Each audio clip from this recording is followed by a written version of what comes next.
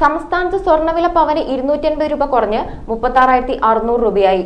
മുപ്പത്തി ആറായിരത്തി എണ്ണൂറ്റി അൻപത് രൂപയായിരുന്നു കഴിഞ്ഞ ദിവസം പവന്റെ വില.